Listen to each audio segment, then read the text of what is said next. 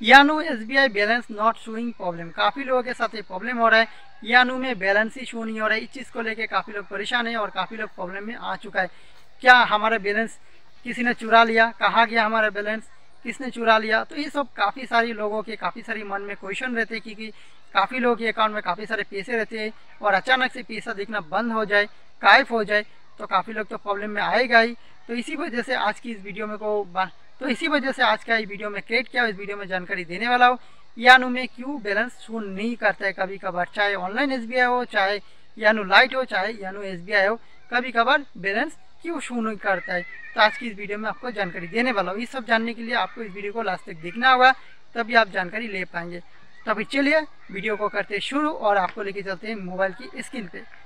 दोस्तों, काफ़ी लोगों के साथ एक प्रॉब्लम हो रहा है। यानू ओपन कर रहा है। और उसके बाद यानू में बैलेंस शो नहीं हो रहा है चाहे यानू लाइट हो, चाहे यानू एस हो, दोनों में से कोई भी ऐप इस्तेमाल कर रहे हो तो कभी कभार आपका बैलेंस नहीं दिखता है। आखिर ये प्रॉब्लम क्या है और कैसे हम इस प्रॉब्लम को सॉल्व कर पाए? तो दोस्तों, एक ही बात कहना चाहता हूँ, इस प्रॉब्लम को अगर आप सॉल्व करना चाहते हो तो आपको वेट करना पड़ेगा, क्योंकि सर्वर डाउन होते हैं कभी कभार जिस वजह से बैलेंस शो नहीं होते, यानो लाइट हो, चाहे यानो एस हो, ठीक है? तो जिस वजह से आपको बैलेंस नहीं दिखता है फोर्टी एट आवर या फिर ट्वेंटी फोर आवर या फिर सेवेंटी टू आवर के बाद अपने आप ही ये प्रॉब्लम सॉल्व हो जाता है और बैलेंस दिखने लगता है। तो इसके लिए कोई घबराने की कोई ज़रूरत नहीं। दोस्तों, वीडियो कैसा लगा? वीडियो देखने के बाद अगर वीडियो अच्छा लगा तो वीडियो को लाइक करें चैनल को सब्सक्राइब करें, दोस्तों के साथ वीडियो को शेयर करें। तो अभी के लिए बाय बाय